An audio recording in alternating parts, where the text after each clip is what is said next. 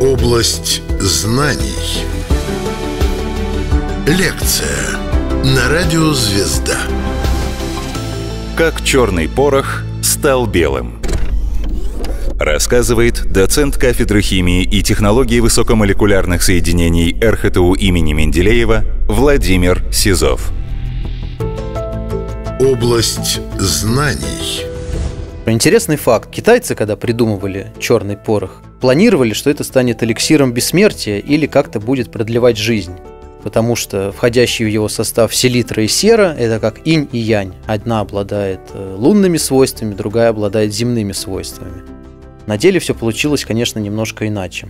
Пик развития черного пороха пришелся на 19 век, когда в Америке компания Дюпон открывала самые большие заводы по производству черного пороха и производила сотни тысяч тонн черного пороха в год. Наука как раз к 19 веку накопила много знаний, и особое развитие получила химия в это время. А химики синтезировали все больше и больше новых соединений.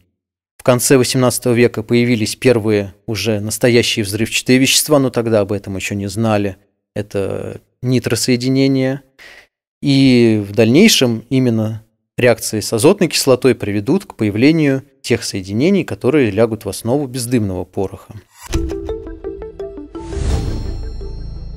Сначала в 1833 году француз Бракано обработал азотной кислотой хлопок и получил нитрохлопок. Он особого значения этому не придал.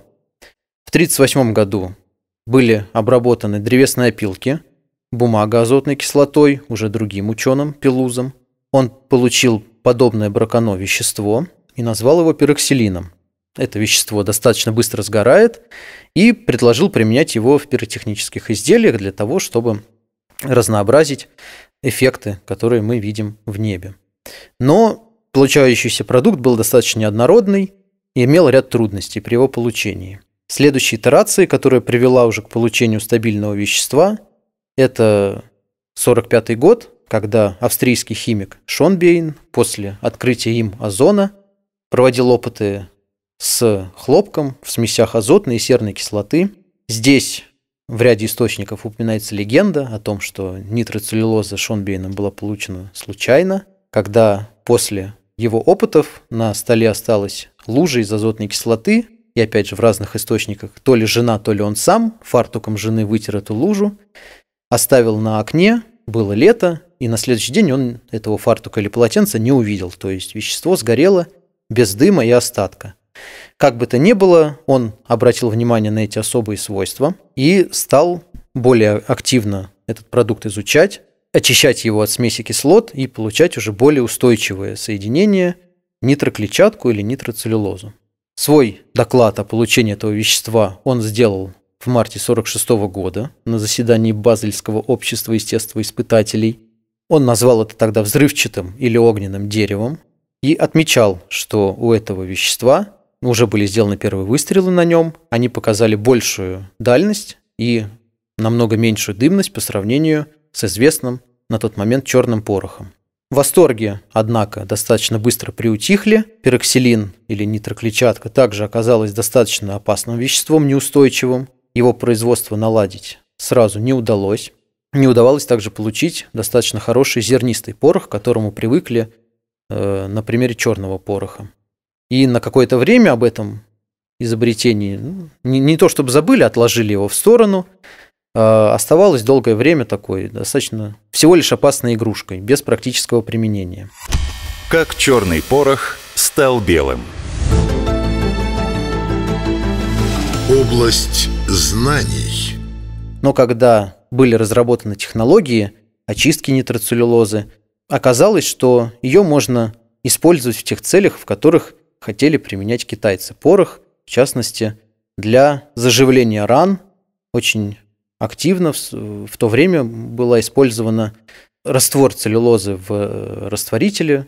Его покрывали на раны, и после высыхания растворителя на коже оставалась пленка, которая не давала бактериям проникнуть в рану и, соответственно, останавливала кровотечение. И сейчас можно получать на современных производствах нитроцеллюлозу с различным содержанием азота, начиная там от небольшого 5, 6, 10 процентов, которые находят свое применение в различных отраслях. Возможно, мы ходим по нитролинолеуму или целлюлозные шарики для настольного тенниса, это все нитроцеллюлоза. Или же, если в ней содержится 12% азота, это называется колоксилин, 13% азота это называется пироксилин, 12,5% азота это пироколодий имени Менделеева, а максимально возможное содержание азота в нитроцеллюлозе 14,14%. Получить его очень сложно, и такие нитроцеллюлозы сейчас не применяются ввиду своих там физико-химических ограничений.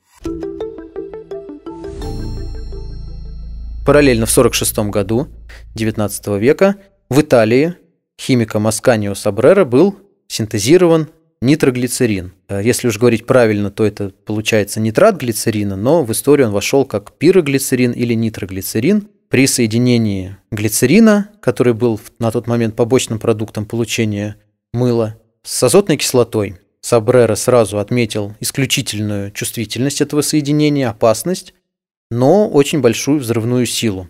Его статья была опубликована на год позже, и химики взялись за украшение этого вещества. Э, здесь историки разнятся в том, кто первый усмирил это самое вещество нитроглицерин. Хочется верить, что это первые сделали наши отечественные ученые, но широкую известность нитроглицерин получил благодаря Альфреду Нобелю, который смог наладить крупнотоннажное производство нитроглицерина, в частности в Санкт-Петербурге были заводы семьи Нобеля. А с другой стороны, он придумал, как усмирить нитроглицерин. Он пропитывает нитроглицерином инфузорную землю или кизильгур. В 867 году получил, собственно, динамит. Это вещество он назвал динамитом, получил на него патент и стал его производить, опять же, в достаточно больших объемах на чем сколотил очень большое состояние. Динамит оказался очень удобным веществом, он легко воспламенялся от э, шнура, порохового шнура или бигфордового шнура, в зависимости от того, где, в какой стране он применялся. Оказался очень удобным при использовании в горной отрасли, в горнодобывающей отрасли, мощным веществом, но при этом уже достаточно безопасным при его перевозке и транспортировки, и даже обращении с ним, в отличие от того же нитроглицерина, на который лишний раз лучше не смотреть и не дуть, потому что он очень чувствительный. Помимо динамита Нобель придумал также капсуль-детонатор, который представляет собой медную гильзу с начинкой из гремучей ртути. Этот капсуль-детонатор сыграл выдающуюся роль в деле открытия, во-первых, взрывчатых свойств детонации, а во-вторых, он впоследствии стал важным элементом всех промышленных взрывчатых веществ. Но самое важное изобретение Нобеля, как считал он сам, было открытие нового типа пороха, который он назвал баллиститным порохом или порохом Нобеля. Уже с нитроцеллюлозой научились работать, и Нобель смог соединить ее и нитроглицерин в различных соотношениях. Сначала он их соединял, получал так называемые гремучие студни, но когда он довел количество нитроцеллюлозы в смеси до 60%, то он смог получить достаточно прочное вещество, которое он назвал баллиститом или порохом Нобеля. Как черный порох стал белым. Область знаний. Параллельно Нобелю исследования и получение новых типов порохов велись и в других странах. Так, например, во Франции в конце 20, 19 века соединили нитроцеллюлозу, пропластифицировали ее смесью спирта и эфира – спиртоэфирная смесь удалялась при производстве, и оставалась прочная структура нитроцеллюлозы. Такой тип пороха получил название пироксилиновый порох или одноосновный порох, потому что пластификатор из него удалился. А после изобретения Нобелем уже баллистита в Англии Дьюар и Абель получили патент на свой вид пороха. Они назвали его кардит или кардитный порох, от английского слова корд – нить или шнур – Назвали его так, потому что сам порох формировался в виде длинных нитей, струн, и представлял собой смесь нитроглицерина и нитроцеллюлозы с добавкой масла и летучего растворителя, в отличие от пороха Нобеля. Нобель подавал на англичан в суд, однако суд не признал его первенство, сказал, что это совсем другой порох, и таким образом оба пороха стали существовать параллельно друг другу. Помимо динамита и баллиститного пороха, за плечами Альфреда Нобеля еще очень много других изобретений, известно более 350 его патентов, большая часть из которых нашла применение на многочисленных производствах. И тут хочется отметить такой занимательный факт. Когда умер брат Нобеля Людовик, некролог в газетах, журналисты перепутали имя брата и подумали, что умер Альфред Нобель. И в некрологе написали, какой он был нехороший человек, торговец смертью, что очень задело Нобеля.